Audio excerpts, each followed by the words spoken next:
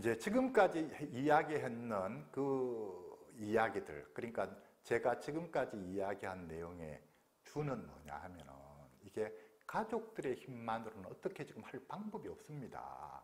그러니까 우리 정부에 대해서 그리고 우리 사회 전체에 대해서 이러이런 것을 우리가 요구해야 됩니다. 우리가 정부가 관심을 가져주고 우리 일반 대중들이 관심을 가져주고 할 때에 이 문제가 해결 가능한 문제입니다. 한 집, 한 집, 한 집에 개개의 가족들로서는 이걸 해결해내기가 너무나 역부족입니다. 지금 그 이야기를 했었는데요. 그럼에도 불구하고, 그러면 당장 정부가 관심을 가져줄 것 같지도 않고, 당장 사회 일반 대중의 관심이 이리로 와주고, 이들을 따뜻한 시선으로 바라봐주고, 아까 제가 희망이 필요하다, 기회 제공이 필요하다 했는데, 그런 거를 제공해 줄 것 같지도 않고, 그럼 지금 이 상황에서 어떻게 하라는 거냐? 라고 했을 때, 지금 이 상황에서 그래도 가족분들이 스스로 할 수 있는 일들이 있습니다. 그래서 그걸 제가 다섯 가지로 일단 정리를 해 본 거거든요. 첫 번째가 환자는 당분간 내버려 두셔야 됩니다. 방법이 없잖아요.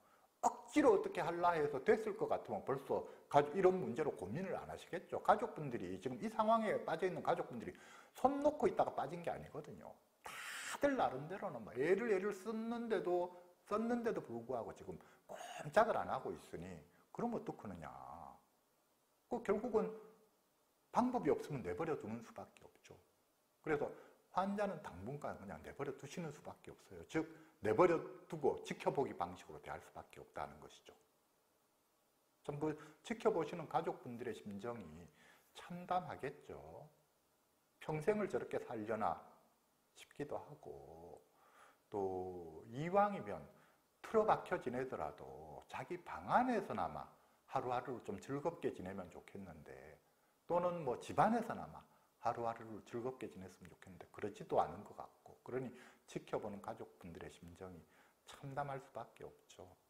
그런데 그럼에도 불구하고 방법이 없을 때는 우선은 지켜보시는 수밖에 없습니다 하는 거고요. 그 다음에 두 번째로 그럼 지켜보면서 아무것도 안 하느냐. 지켜보라는 의미는 환자가, 그 당사자가 꼼짝을 안 하니 당사자는 우선 내버려 두십시오. 그 이야기고. 그러면서 가족분들은 다른 종류의 노력을 하셔야지 되는 거죠. 그래서 다른 종류의 노력 중에서 제가 가장 먼저 권해드리고 싶은 노력은 가족과 환자 관계 개선에 힘쓰십시오.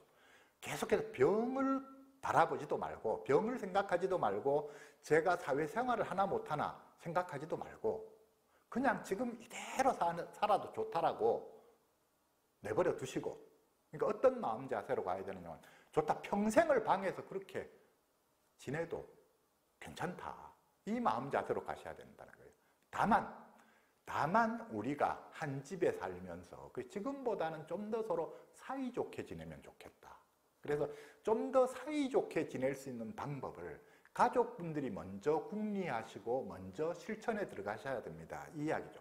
가족 환자 관계 개선에. 그래서 다른 건 아무것도 보지 말고 쟤하고 나하고 관계가 조금 더 그래도 가까워지고 있나 아니면 더 멀어지고 있나 이걸 가장 중요하게 보시라는 거예요. 그래서 그래도 하루하루 날이 지나면서 한 달 전보다는 지금이 그래도 조금은 뭐가 가까워지고 있는 듯한 느낌 이런 게 중요하다는 거예요. 조금 조금씩 그러자고 하면은 서로 얼굴 볼 때마다 좀 더 서로 간에 웃으면서 볼 수 있고. 그러니까 그렇게 되자면 나부터 먼저 웃어줘야지 되겠죠.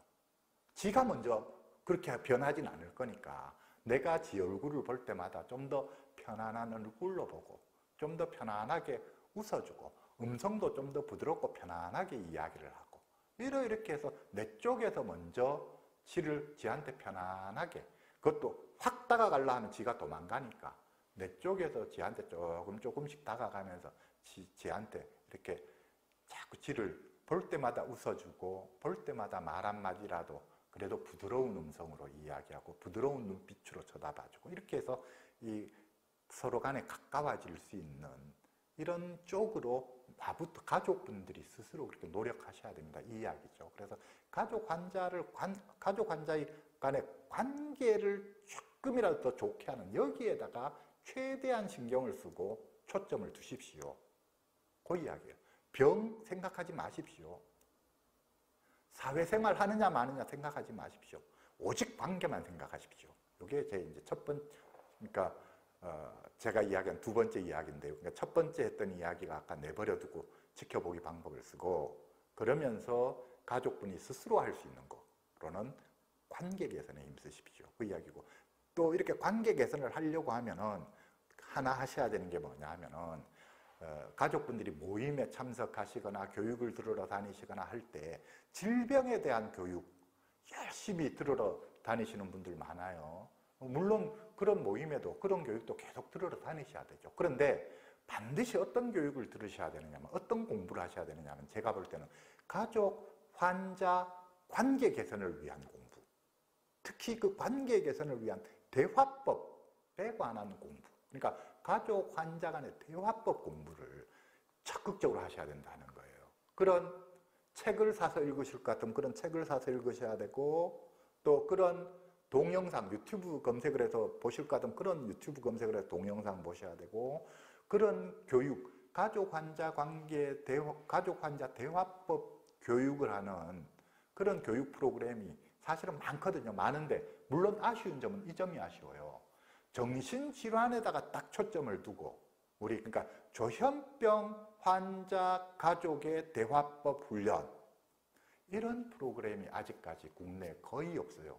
거의 저부터도 아직까지 못 만들어내고 있고 저도 지금 마음속으로는 그런 생각을 하고 있거든요. 제가 지금 하고 있는 이 기본적인 지식 위주의 내용을 전달해 드리는 그러니까 이 기초교육 과정 말고 제가 교육을 하나 꼭 개발해야 되겠다 싶은 교육이 바로 이 대화법 훈련이거든요. 우리 조현병, 조울증, 우울증을 지닌 이 환자를 돌보는 이 과정에서 가족과 환자 간의 대화법 훈련. 그러니까 가족분들이 환자에게 말 한마디를 건넬 때 어떻게 건네야 되고 환자가 이렇게 나올 때는 어떻게 대처를 해야 되고 이런 종류의 대화법에 관한 훈련을 개발을 해야 되는데 제가 만약에 그런 좋은 대화법 훈련 프로그램을 개발해서 우리 조현병 환자 가족분들을 위해서 제가 이런 대화법 훈련 프로그램을 만들었습니다. 하고 이게 정말로 좋은 프로그램이라 한다면 많은 분들이 저한테 교육을 들으러 오시겠죠. 또 그렇다면은 그런 훈련을 통해서 어느 정도 이 가족 환자 관계 개선에 도움을 받게 되면은 또 지금 지금과 같은 이 힘든 상황을 헤쳐나가는데 좀 도움이 될 수 있겠죠. 그런데 불행히도 아직 저부터도 그런 교육훈련 프로그램을 못 만들고 있거든요. 그래서 그런데 그러니까 지금 어쩔 수 없이 어떤 프로그램을 다니셔야 되느냐 하면은 딱 정신질환자에 대한 건 아니라도 그냥 일반 일반적인 가정에서의 부모 자녀 대화법 또는 부부간의 대화법 아무튼 이 대화법과 관련된 프로그램이 지금 우리나라에 많아요. 많고 동영상도 보시면 많거든요. 그런데 동영상에서 이 대화법에 대한 동영상을 찾아보면 크게 하나는 어떤 사업, 그러니까 경제적인 이득을 위한, 그러니까 그래서 보면 뭐 주로 설득하는 상대방을 어떻게 설득할 거냐 이런 대화법이 우선 동영상 검색해 보면 우선 순위로 쫙 나와요. 그리고 이런 심리적인 대화법은 순위가 밀려서 검색하기가 좀 힘든데 검색할 때 용어를 어떻게 찾아 들어가셔야 되느냐 하면 그러니까 예를 들어서 어, 추천드릴 수 있는 대화법들이 어떤 게 있냐면 예를 들자면 비폭력 대화. 자 적극적 대화 비폭력 대화 그다음 아들러식 대화. 아들러식 대화. 이거 다 좋은 대화 프로그램들이에요. 아마 검색해 보시면 아시겠지만 영상 많이 올라와 있어요. 그거 요 상당히 부모 자식 간의 심리적인 대화를 어떻게 할 거냐 하는 거거든요. 그래서 이런 프로그램들이 있고요. 그 다음에 이제 제가 최근에 보니까 어, 고려대학교 심리학과에 계시다가 정년퇴직하신 한, 한성열, 한성열 교수님이라고 계시는데 그분이 한 두시간 반짜리 정도 되는 대화의 기술 하는 동영상을 올려놓으셨더라고요. 그거 제가 화면에 잠깐 띄워드릴 건데 그분의 제목이 뭐냐면 한성열의 심리학 콘서트 대화의 기술편 몰아보기 하는 게 있어요. 한 2시간 반 분량짜리인데 이거는 이제 우리가 평범한 일상적인 대화죠. 그러니까 부모 자식 간의 대화이기도 하고 또 우리 인간관계에서 일반적인 대화에 대한 내용을 강의를 하신 건데 저도 잠깐 들어보니까 상당히 알아듣기 쉽게 편안하게 이 심리적인 대화를 어떻게 할 거냐 하는 것을 설명을 하고 계시더라고요. 그래서 그런 영상도 좋은 영상이니까 한번 보십사 추천을 드립니다. 자,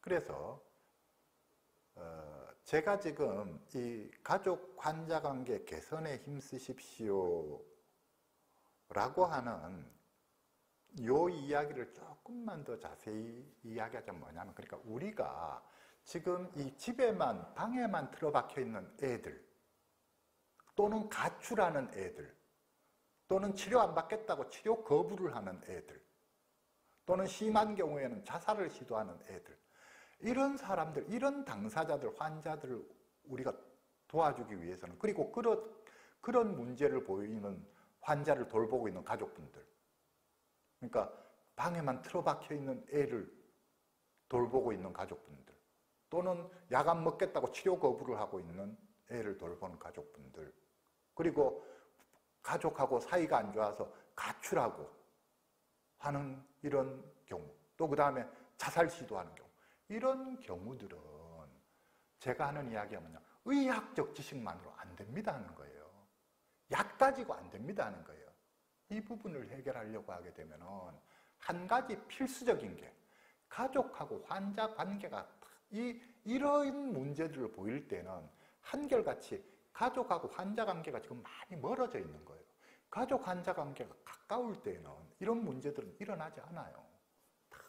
가족하고 환자 관계가 멀어져 있고 또 하나는 이게 단순히 병의 문제가 아니라 흔히 많은 경우 환자들이 심리적으로 좌절해서 길이 안 보인다는 거예요. 앞길이.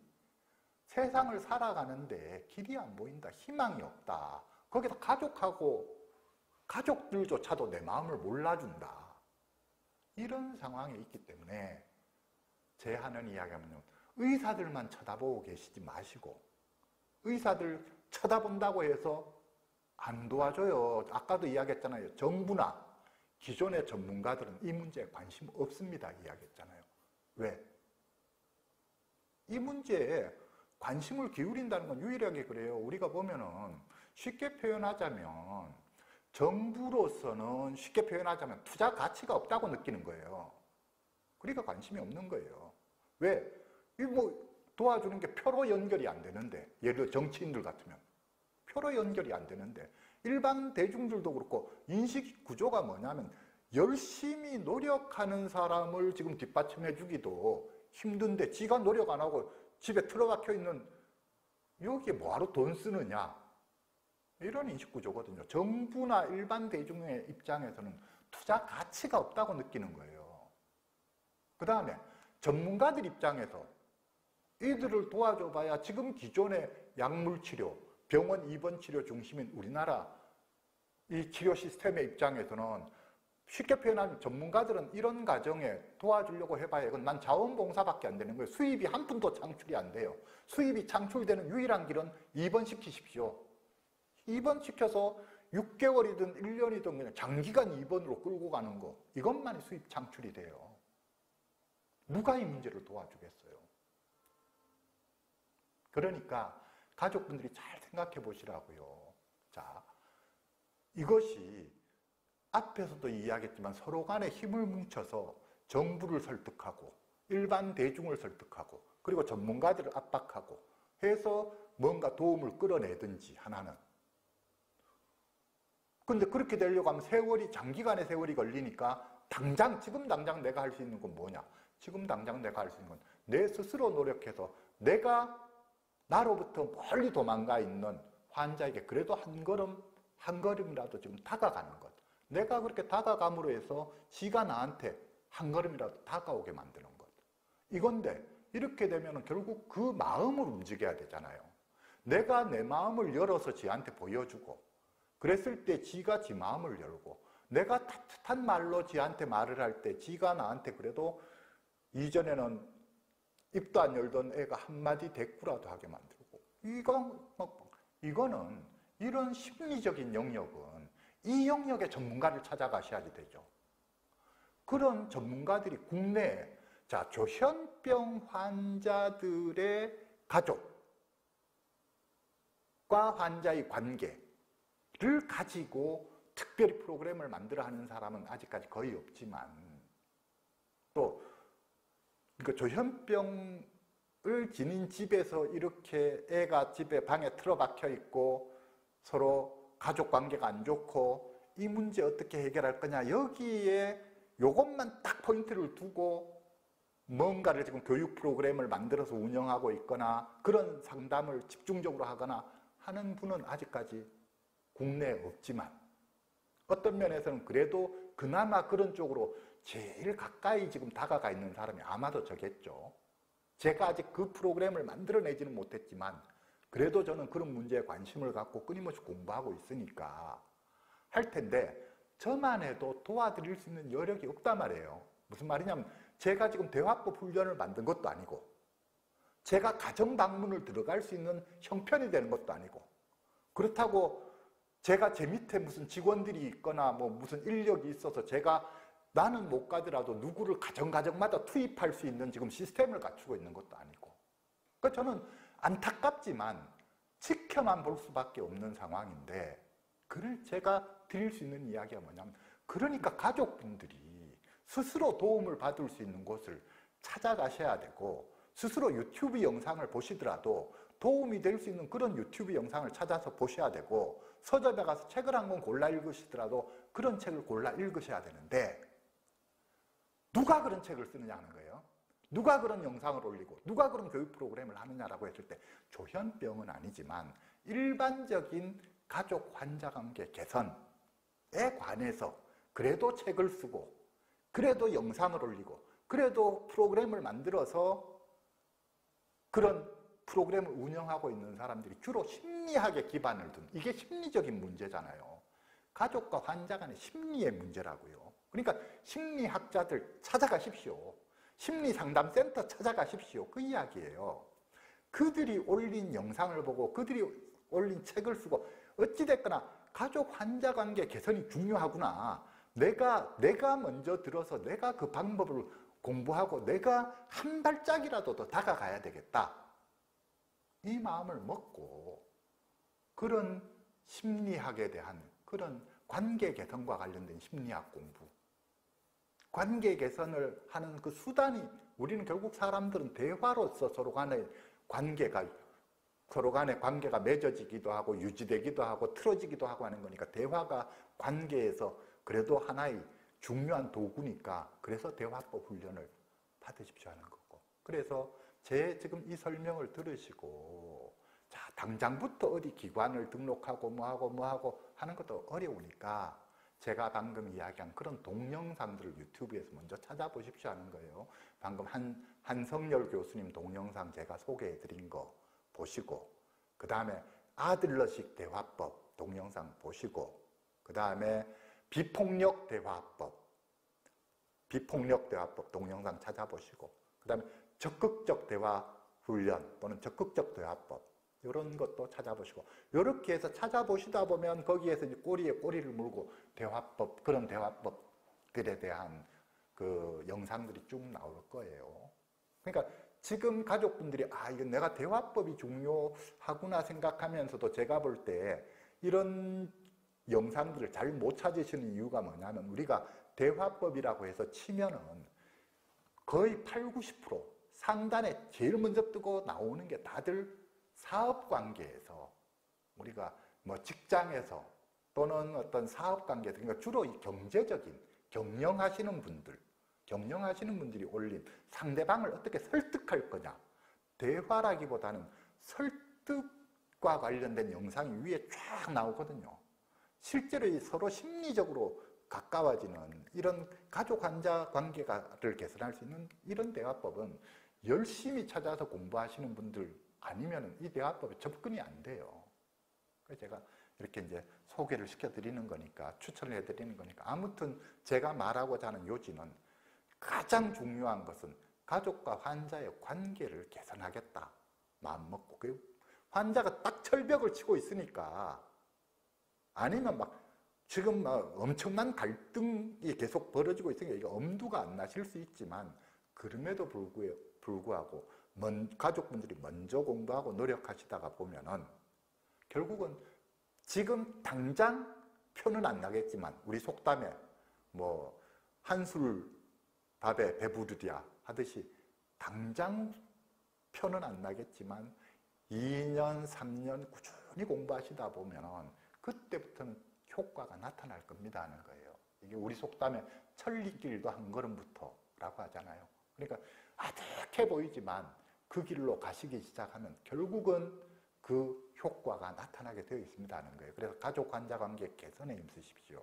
그 다음에 또 세 번째로 제가 할 수 있는 이야기는 그러니까 첫 번째 드렸던 말씀이 자 환자는 일단 내버려 두십시오. 내버려 두고 지켜보기 방식을 사용하십시오. 두 번째 가족 스스로가 가족 환자 관계 개선을 위해서 스스로가 먼저 공부하고 먼저 마음을 열고 등등 이렇게 하십시오. 그 이야기를 했고 세 번째 환자가 아니라 가족 자신이 먼저 적극적으로 심리 상담을 받아야 합니다 하는 거예요. 다들 보면은 제가 그래도 심리 상담이라도 응해주고 받으면 어떻게 길이 트일 텐데 한데 그게 아니고 환자를 심리 상담 받게 하려고 하시지 마시고 지금 꼼짝도 안 하는 놈을 심리 상담 받게 할 길이 없잖아요. 가족이 먼저 심리 상담 받으셔야 됩니다 하는. 가족분들이 내가 왜 나는 정상인데 나는 문제가 없고 문제가 있는 거는 방에 틀어박혀 있는 제가 문제가 있는데 내가 왜 상담받아야 돼?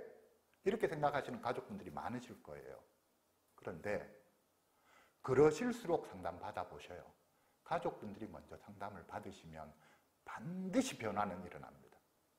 가족분들이 자 내가 바뀌든 지가 바뀌든 둘 중에 누구라도 바뀌어야 변화가 일어날 거잖아요. 근데 지는 안 바뀌겠다고 철옹성처럼 저렇게 버티고 있는데 아무리 내가 이때까지 하실 수 있는 방법은 다 해보셨을 거잖아요.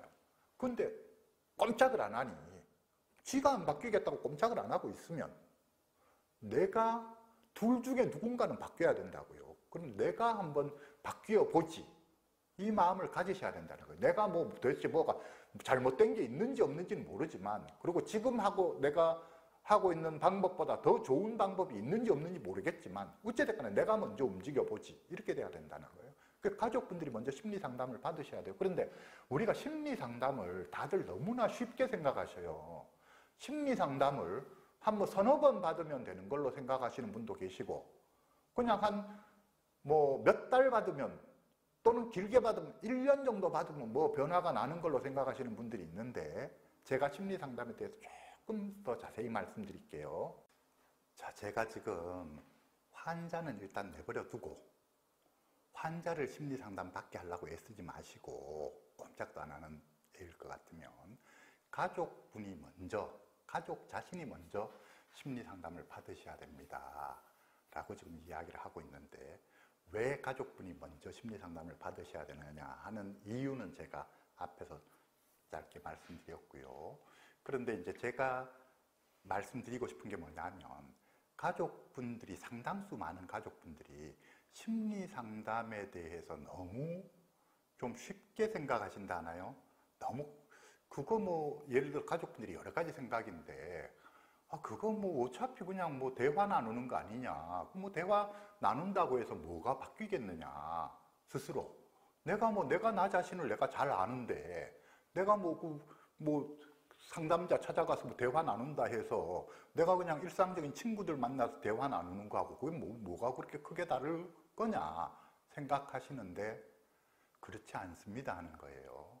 그래도 명색이 이 업에 종사하고 있는 그걸 전문으로 한다는 사람이면 보통 그냥 친구 만나 대화 나누는 거, 친척들 만나 대화 나누는 거, 내가 아는 좀 똑똑한 사람 만나서 대화 나누는 거 하고는 대화의 차원이 달라요. 일단은 그거를 생각을 하셔야 되고요. 이게 그 다음에 뭐 그냥 대화 나누는 건데 뭐 약을 주는 것도 아니고 주사를 놔주는 것도 아니고 아무것도 해주는 게 없는데 그냥 말만 나누는데 그왜 돈을 내야 되느냐 또 이렇게 생각하시는 분들도 있어요. 근데 상담을 해주는 저희들 입장에서는 당연히 돈을 받아야죠. 이게 일종의 육체 노동인데 우리가 일당이든 시간제로 받는 돈이든 돈을 받아야 저희도 먹고 사니까 돈을 이제 받을 수밖에 없는 거고요. 거기에다가 건강보험도 안 되고 아무것도 안 되고 뭐 누가 정부에 지원해 주는 것도 없이 유료 상담을 해야 되니까 돈이 비쌀 수밖에 없는데 그러, 그러다 보니까 왜 돈을 내야 되느냐 생각할 뿐만 아니라 돈이 너무 비싸지 않느냐 돈 아깝다 생각하시는 분들이 또 많거든요. 그런데 우리가 돈의 값을 충분히 합니다. 그 이야기를 제가 드릴 수 있어요. 자 돈이 아까워서 단가가 낮은 상담자에게 가서 상담받으시면 그만큼의 혜택을 보실 거고 단가가 센 사람한테 가서 받으면 센 사람한테 받는 만큼의 혜택을 보실 거예요. 아무튼 돈의 값어치를 충분히 합니다. 상담하는 사람들이 정말 뭐 아무 도움이 안 되는 잡담 나누고 돈 받는 게 아니니까 그렇게 돈 아깝다고 생각하지 마십시오. 돈 비싸다고 생각하지 마십시오. 내 경제력이 된다면 내가 그 정도 돈은 내가 충분히 내가 지출할 수 있는 여력이 있다. 자, 경제력이 안 되면 경제력이 안 되면 안 되는 대로 정부에서 지원해줘서 상담을 해주는 바우처 상담이라든지 이런 쪽을 이용하시려고 해야지 되고 돈의 경제적인 여유가 있는 분들은 유료 상담을 이용하셔야 되고 우리 나는 그래도 돈이 좀 많다 하면 유료 상담 중에도 단가가 비싼 사람들 한테 상담 받으시는 게 좋은 방법입니다. 그 이야기예요. 그런데 그 다음에 또 상담이라고 하는 걸 너무 단기간으로 생각하셔요. 뭐 한 몇 달 정도 받았는데 변화가 없으면 아이 상담해서 소용없는 거 아니냐 이렇게 생각하시거든요. 근데 이렇게 보셔야 돼요. 우리가 문제의 심각성에 따라서 이 횟수나 기간은 달라지는 거예요. 우리가 상담도 아주 간단한 문제일 것 같으면 한 번 상담으로 충분해요. 그 다음에 그보다 조금 문제가 더 조금 할 것 같으면 그래도 가벼운 문제면 한 10번 정도 상담하면 끝나요. 그러면 충분히 본인이 생활에 가는데 약간의 어떤 뭐 생활 잘하고 있는데 약간의 어떤 문제가 있다든지 그런 건 뭐 한 뭐한 10회기 정도만 상담하면 끝나요. 그런데 보세요. 우리 가족분들이 지금 별의별 노력을 다 해보셨잖아요. 별의별 노력을 다 했는데도 방에 꼼짝도 않고 틀어박혀서 지금 몇 년째 저러, 저러고 있다.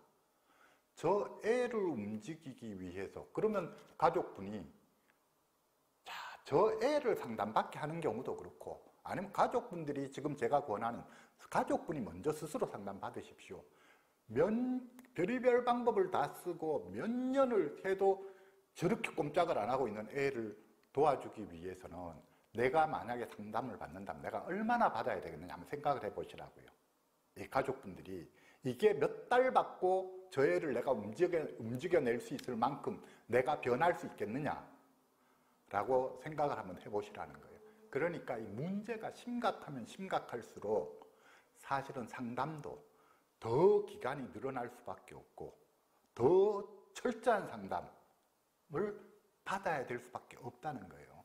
제가 그렇게 이야기하는데 우리 조현병 조울증 쪽에서는 효과를 보려고 하면은 당사자가 상담받든 가족분이 상담받든 최소 기간이 제가 볼 때 2년 내지 3년 받아야 비로소 효과를 보시는 거예요.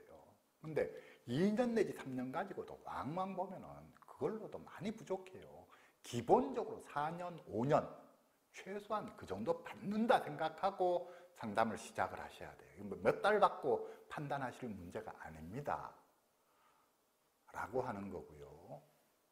그런 이야기고 그래서 몇 년 기본적으로 최소 2, 3년 아니면 4, 5년 정도는 상담받겠다 이렇게 마음먹으셔야 돼요. 제가 상담을 하다 보면 참 안타까운 점들이 뭐냐 하면 우리 당사자 상담 같은 경우에 하다 보면 환자 상담을 하는데 다들 돈의 부담이 되시니까 그러시겠지만 우리가 볼 땐 내면에서 지금 변화가 많이 일어나고 있어요. 자, 항상 내면에서 먼저 변화가 일어나야 그 다음에 겉으로 보이는 행동이 변하는 거예요. 근데 우리가 몇 달간 상담하면서 내면에서 많은 변화가 일어나서 이제 행동에서 조금씩 그게 이제 뭐가 변화하려고 하는데 이때 상담 그만두시는 가족분들 많아요. 뭐몇 달간 상담 쭉 받았는데 바뀐 게 뭐 있느냐. 애 행동이 여전히 그대로인데 낮밤 바뀐 건 여전히 그대로고 애가 뭐 지방에서 밖에 안 나오는 거 여전히 그대로고 다 그대로인데 뭐 몇 달 상담 받아봤더니 소용없더라고. 상담자는 지금 열심히 이 내면을 바꾸는 작업을 지금 하고 있어서 이제 뭐가 움직임이 생길라 하는데 이때 상담 그만두시는 분들이 있고 그 다음에 또 보면은 좀 더 길게 상담해서 한 1, 2년 상담을 해요. 그럼 이제 이 당사자가 바뀌기 시작해서 이때까지 꼼짝을 안 하던 애가 이제 뭐 예를 들어 학교에 복학을 한다든지 아니면 뭐 취직을 한다든지 뭔가 해서 조금 움직이려고 해서 이제 좀 하면은 조금 좋아지는 모습을 보이면 가족분들이 아 이제 뭐 저렇게 하면은 이제 지 혼자 스스로 안 해나가겠나? 그러니까 이제 상담 필요 없는 거 아니냐? 그러니까 애가 좀 좋아지면 여기가 지금 그만둘 단계가 아닌데 이제 막 시동 걸어서 이제 막 가기 시작했는데 애가 이렇게 막 가고 있으면 가족분들은 때로는 이래 때로는 기대 수준이 더 높아서 이때까지 1년, 2년, 몇 년을 상담을 했는데 아직 이거밖에 안 되나 이래서 실망스러워서 상담을 그만두시는 분도 있고 그 다음에 이 정도 되면 지 혼자 이제 뭐 상담 안 받고도 안 해나가겠나 싶어서 그만두시는 분도 있고 이렇게 되거든요. 근데 다 너무 너무 급하신 거예요. 그러니까 몇 달 만에 상담을 그만둔다 또는 뭐 1, 2년 만에 상담을 그만둔다 다들 너무 성과를 빨리 보고 싶어 하는 마음이 있어서 그렇다는 거예요. 상담은 그런 게 아닙니다. 상담은 이 조현병 상담, 다른 쪽 상담은 어떤지 모르지만 조현병, 조울증, 심한 우울증 이 문제를 가지고 상담을 받는 데는 기본적으로 장기간 상담을 받아야 됩니다 하는 그거를 아셔야지 되고 그 장기간 동안에 투입되는 돈이 결코 아까운 돈이 아니라는 것을 이해를 하셔야 돼요. 그러니까 가족분들이 애가 확 엉망일 때 힘들 때 병원에 입원시켜서 그 병원비 뭐 펑펑 다 쓰시면서 애를 차라리 평소에 꾸준히 이렇게 상담을 받게 하면 병원에 입원 안 시켜서 쓰지 않아도 될 돈이 그렇게 나간단 말이에요. 또 그 다음에 애가 잘 생활해 가면 결국은 자기가 사회생활하고 자기가 스스로 돈을 벌 거고 등등 아무튼 뭔가 이, 이 돈이 보람이 있는 돈이지 보람이 없는 돈이 아니에요. 그러니까 상담에 대해서 다들 너무 어, 상담의 어떤 장기적인 상담의 효과를 너무 모르셔서 애초에 상담을 시작 안 하시는 분들이 많고 상담을 시작해도 너무 빨리 그만두시는 분들이 많고 그래서 저로서는 그런 점들이 참 안타깝습니다 하는 거예요. 그 지금 제가 권해드리는 거는 가족분들이 상담을 받기 시작하십시오. 집에 애가 꼼짝도 안 하고 있다. 아니면 애가 계속 가출을 해서 가족들 얼굴도 안 볼라 한다. 이런 가정들에서는 가족분들이 상담 받으셔야 됩니다 하는 거예요. 가족분들이 상담을 꾸준히 2년, 3년, 4년 가족분들이 꾸준히 상담을 받아 나가시면 반드시 변화는 일어나게 되어 있습니다 하는 거예요. 그 돈 아깝다고 생각해서 지니고 계시지 마십시오. 그 돈 아까워하면 그러니까 돈이라고 빚내서 상담 받으라는 소리가 아니에요. 내가 내가 쓸 수 있는 돈의 한계 안에서 그래도 상담비 정도는 내가 지출할 여력이 있다 하시면 상담 받으시라는 거예요. 그 돈 아끼지 마시고 반드시 그러면 효과를 보실 수 있습니다. 그 이야기예요. 자, 그래서 다시 이제 하던 이야기를 하자면 그래서 이제 세 번째 이야기가 환자가 아니라 가족 자신이 먼저 적극적으로 심리 상담을 받으셔야 합니다. 심리 상담을 통해서 가족 자신이 불안해하는 점이 무엇인지, 가족 자신이 내려놓지 못하고 있는 점이 무엇인지 등등을 파악하고 그 걸림돌을 치워내셔야 됩니다 하는 거예요. 자, 그랬을 때 상담을 쭉 받다가 보면 결국은 제가 아까 분명히 변화가 일어납니다라고 했는데 변화가 반드시 한 가지 변화는 그게 일어나겠죠. 지금보다 분명히 가족 환자 관계가 개선이 되겠죠. 이렇게 가족 환자 관계가 개선이 될 텐데 이렇게 되면은 그 다음에 환자가 어느 길로 가느냐 길은 제가 볼 때 크게 두 길 중에 하나예요. 하나는 다시 사회생활을 하는 쪽으로 움직여 나가든지 아니면 그럼에도 불구하고 환자는 자기는 사회생활을 안 하겠다라고 버티든지 가족 관계는 개선이 됐는데도 이렇게 될 텐데 그 두 길이 어느 길이라 할지라도 그러니까 자 이렇게 또 생각하셔야 돼요. 방에 틀어박혀 있는 애가 반드시 사회생활을 다시 해야 된다. 저렇게 방에만 틀어박혀 생활해서는 안 된다. 이 생각도 너무 고정관념이에요.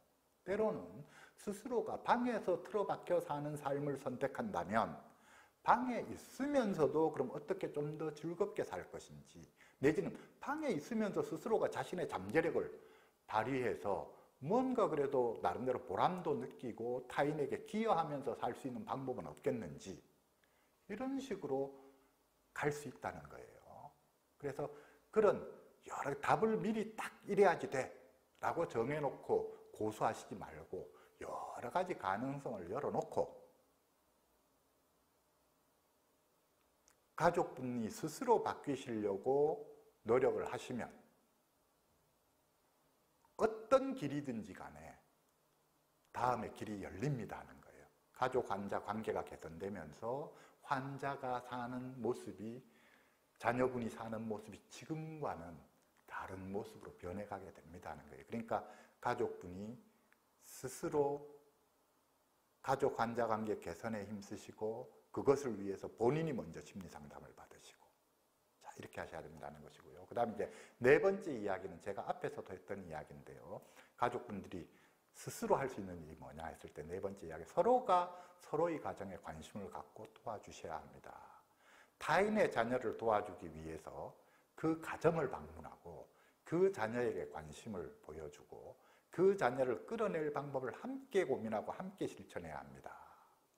라고 하는 거죠. 우리가 그래서 그런 비유 많이 하잖아요. 우리가 천당하고 지옥을 가봤더니 지옥에서는 기다란 숟가락 가지고 자기가 밥을 먹겠 떠먹겠다고 떠먹이니 자기는 하나도 못 먹고 계속 흘리기만 하고 등등 각자가 긴 숟가락 가지고 자기 입에만 떠넣으려고 하다 보니까 결국 밥을 못 먹어서 다들 배가 고파서 절절 매더라. 그게 지옥이고 천당에 갔더니 그 긴 숟가락 들고 서로 상대방한테 떠먹여주고 있더라. 그게 천당이더라 하잖아요. 지금 그게 딱 이 상황에 맞는 거예요. 각자가 가정에 틀어박혀서 애들 안 나오는 집은 그 가족이 그 자녀를 도와주는 거는 이미 한계에 왔다는 거예요. 그러니까 몇 년을 노력해도 답을 못 찾아내는 거죠. 이미 그 가족 부모와 환자 간의 관계가 많이 틀어져서 환자가 자기 부모한테는 마음의 문을 닫고 있어서 방법이 안 나오는 거예요. 이 그러니까 내, 내 자식은 나한테 문을, 마음의 문을 닫고서 하니까 나는 도와주고 싶어도 못 도와주지만 남의 자식은 내가 도와줄 수 있단 말이에요. 내 자식한테만 신경 쓰지 말고 다른 사람의 가정을 방문해서 다른 사람의 자녀를 도와주는 일을 하십사 하는 거예요. 그러다가 보면은 그 그쪽 집의 부모는 내 집에 들어와서 내 애를 도와주는 일을 하고 서로가 이렇게 우리가 품앗이 하듯이 서로가 서로를 도와주는 방식으로 일을 하시면 지금 꼼짝도 내 힘으로 꼼짝도 안 되지만 서로가 서로를 도와주시는 방법으로 일을 하면 그때부터는 다시 또 해결책이 나올 수도 있습니다 하는 거죠.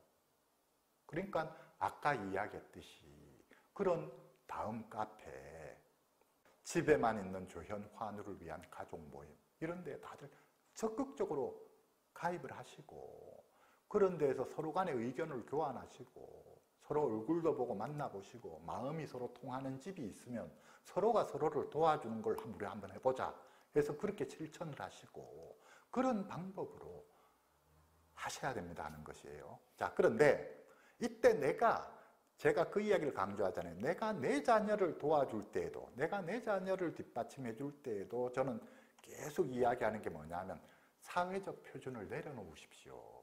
우리 중반기 가족들이 중반기에서 계속 되는, 되는가 싶다가 실패하고 되는가 싶다가 실패하고 하는 큰 요인이 여러 가지가 있을 수 있는데 물론 우리 환자가 지닌 요인도 있죠. 당사자 본인이 지니고 있는 요인 때문에 되는가 싶다 안 되고 하는 것도 있지만 가족분들이 지니고 있는 요인들로는 제가 볼 때 걸림돌이 되는 게 크게 두 가지예요. 하나는 사회적 표준이라고 하는 것, 즉 우리가 흔히 말하는 사회적인 상식이죠. 이렇게 살아야지 돼. 라고 하는 우리가 답을 가지고 있는 그것을 우리가 꽉 붙들고 있기 때문에 사실은 우리 당사자들이 사회가 정해놓은 그 틀 안에서 살아가기가 힘들었기 때문에 발병한 거거든요. 그리고 또 그렇게 살아가기 힘든 특성들을 지니고 있어요. 제가 누누이 이야기했듯이 이 경쟁 사회에 적합하지 않은 어떤 경쟁 사회에서 상처받을 수밖에 없는 그런 우리 당사자들의 특성들이 있거든요. 우리 당사자들. 그래서 사회가 정해놓은 표준에 그, 그 틀로서 살아가는 게 힘들어서 발병했는 당사자를 우리가 억지로 치료라는 미명하에 다시 그 틀 속에 집어넣으려고 하고 있는 게 지금 우리들의 방식인데 제 이야기는 그러지 말고 그 사회적 표준이라는 틀을 내려놓으면 다음에 길이 훨씬 더 이제 넓게 열리거든요. 본인은 훨씬 더 자유로워지는 거고.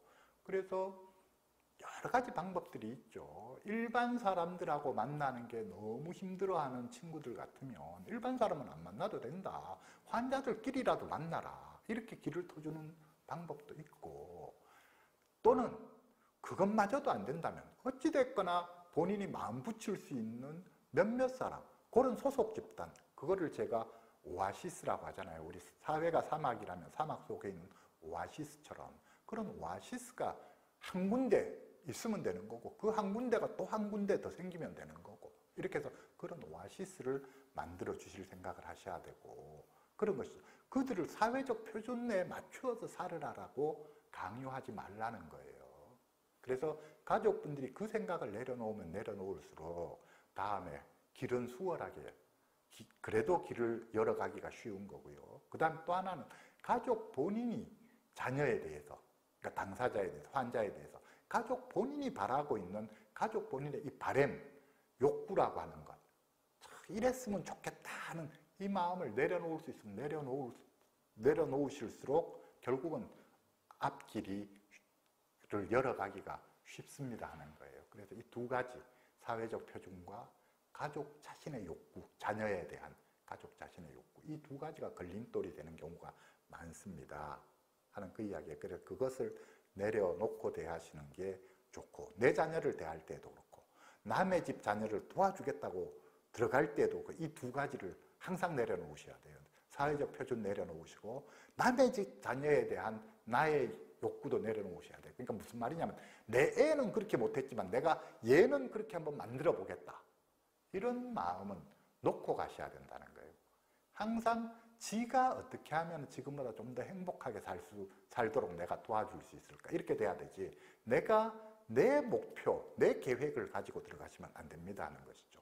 자, 아무튼 사회적 표준과 가족분들 자신의 그 어떤 바램과 욕구 이거를 내려놓으셔야 됩니다. 첫 번째.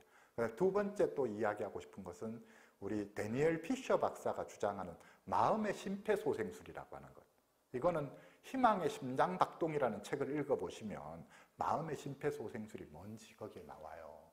가족분이 자기 자녀를 대할 때도 그렇고 다른 집 자녀를 대할 때도 그렇고 우리가 논리적 언어, 논리적인 이 언어가 위주가 되는 이 방법은 그들에게 크게 도움되지 않습니다 하는 것이죠.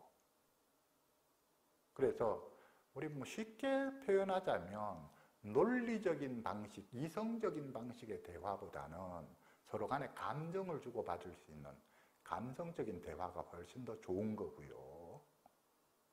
그 다음에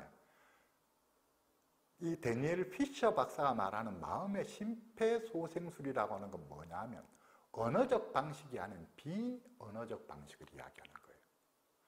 우리가 환자가 힘든 상태에 있으면 힘든 상태에 있을수록 그러니까 환자가 활성기에 있다든지 아무튼 힘든 상황에 있는 사람들을 도와줄 때는 우리가 말보다도 더 중요한 게 언어보다 더 중요한 게 비언어 말이 아닌 말이 아닌 말이 없는 가운데 도와줄 수 있는 방법.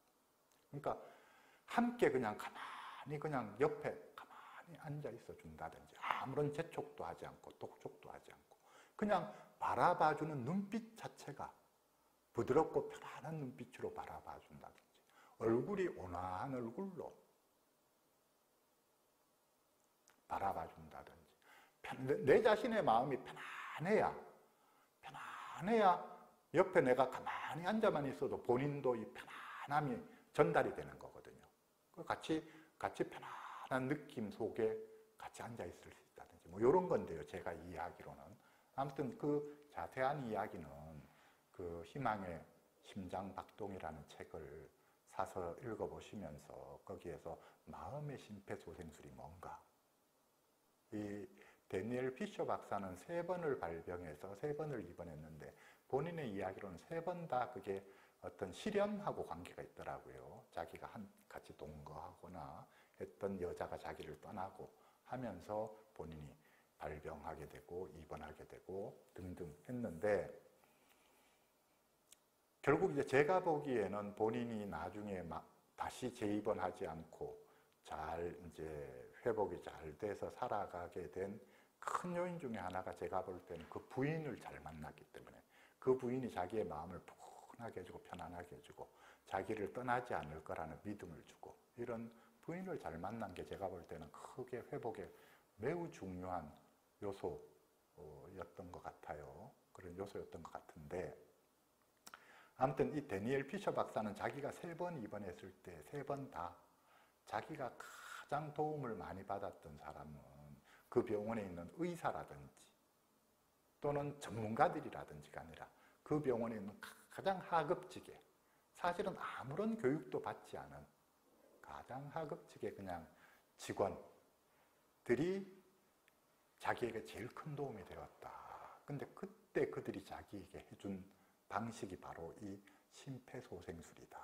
해서 자기는 마음의 문을 완전히 닫고 있다가 그런 사람을 만났을 때 그들의 비언어적인 그렇지만 자신과 뭔가 교감이 되는 듯한 이 느낌에서 다시 아, 내가 그래도 이 사람은 한번 믿어볼 수 있겠다 하면서 거기에서 마음이 조금씩 열리기 시작해서 다시 그 치료를 받기 시작하고 다시 자기가 힘을 내기 시작했다. 뭐 이런 이야기거든요. 그 자세한 이야기는 아무튼 책을 사서 읽어보시고 아무튼 언어적인 것보다 더 중요한 게 비언어적인 것입니다. 그러니까 비언어적인 방식으로 나의 마음을 전달할 수 있는 그리고 그 사람과 교감할 수 있는 이런 능력이 매우 필요합니다 하는 것이죠. 그래서 그런 그러니까 우리가 자신의 자녀를 대할 때도 그렇고 타인의 자녀를 대할 때도 그렇고 말을 잘하는 것보다도 말로서 설득하려는 건 제일 하수고 그건 안 되는 거예요. 그거는 안 되고 내가 편안한 가운데 뭔가 심리적 안정감을 줄 수 있고 뭔가 호감을 끌어낼 수 있고 이런 게 매우 그런 기술, 그런 능력이 필요합니다. 그런 자세로 대하셔야 됩니다. 그 이야기고 그래서 사회적 표준과 가족 자신의 어떤 욕구를 내려놓으십시오. 그리고 이런 비언어적인 방식으로 그걸 잘 사용하는 그런 거를 익히십시오. 그것을 데니엘 피처 박사는 마음의 심폐소생술이라 했습니다. 그리고 거기에 하나 더 붙이자면 앞에서도 이야기했지만 이들에게 가장 필요로 한 것은 희망, 희망을 처방해 줘야 되는 거죠. 그러기 위해서는 사실은 그들에게 기회가 제공이 돼야 되는데 어찌됐거나 내가 가치롭게 살 수 있겠다. 내가 뭔가 그래도 뭔가를 해볼 수 있겠다는 어떤 마음의 희망이 들게 해줘야 돼. 이 희망이 그러니까 어떤 면에서 그렇게 이야기하거든요. 약을 매일처럼 처방해 주는 것처럼 희망이 매일처럼 처방이 돼야 된다. 라고 하는데 그 결국은 이 희망을 처방해 줘야 된다. 이것도 마찬가지죠. 희망이라고 하는 걸 말로써 희망을 가져라, 힘내라 이런다고 이게 희망이 처방이 되는 거냐? 그게 아니에요. 앞에 있는 이야기하고 연결하자면 비언어적인 방식 속에서 그 희망이 전달이 돼야 되는 거거든요. 그러려고 하게 되면 가족분 스스로가 먼저 내가 희망을 가진 사람이래야 그게 자녀분한테 전념이 되겠죠. 나의 희망이 저절로 전달이 되는 거예요. 나의 얼굴 표정과 눈빛과 목소리와 여러 가지를 통해서 그런 어떤 희망, 내지는 믿음, 그, 그 희망이라고 하는 건 당사자 본인에 대한, 자녀 본인에 대한 것만이 아니라 세상에 대한 나의 자세죠.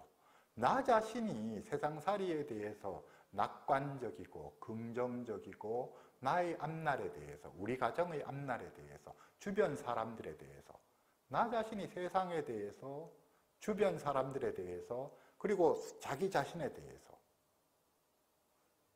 긍정적이고 낙관적이고 희망적이고 이런 그러니까 자녀분이 방 안에 틀어박혀 있다고 해서 얼굴을 계속 찌푸리고 사시는 분은 자녀분한테 전달이 되는 게 희망이 전달이 되는 게 아니라 비관만 계속 전달이 되는 거죠.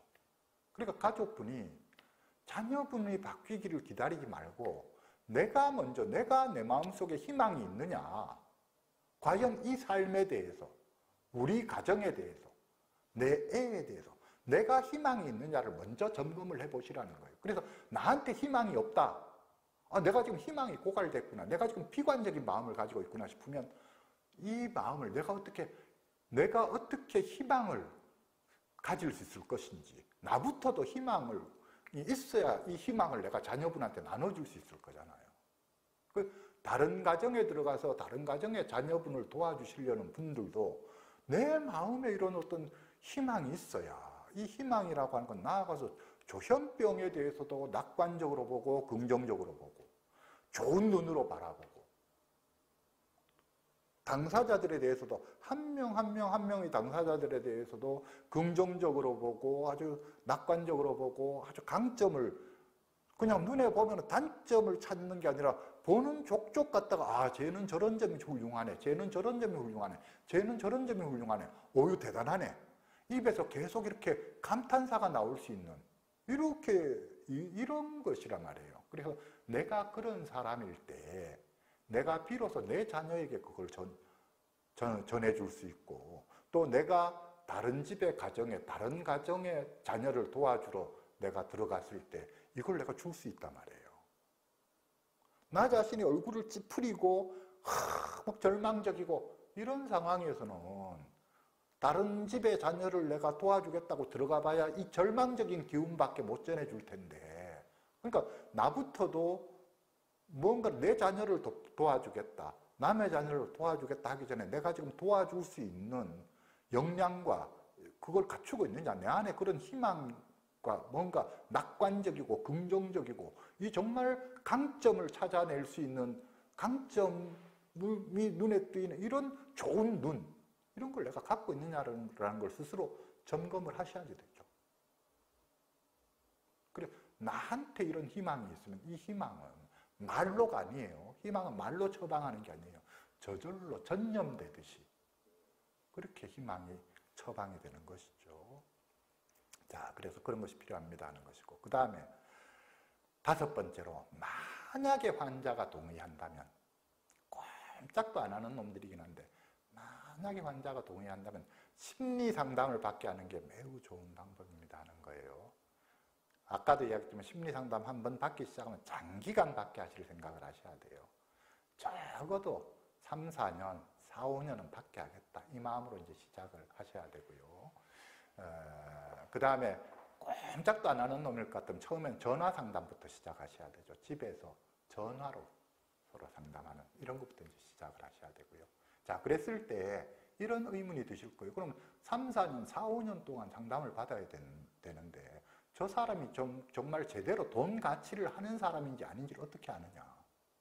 그래서 제가 하는 이야기가 상담자를 덜컥 정하기 전에 한번 잘 알아보고 비교해보고 정하십시오. 그럼 무슨 말이냐면 우리가 옷 하나를 고를 때에도 옷가게를 몇 군데를 들리고 서로 간에 비교해서 옷을 사는데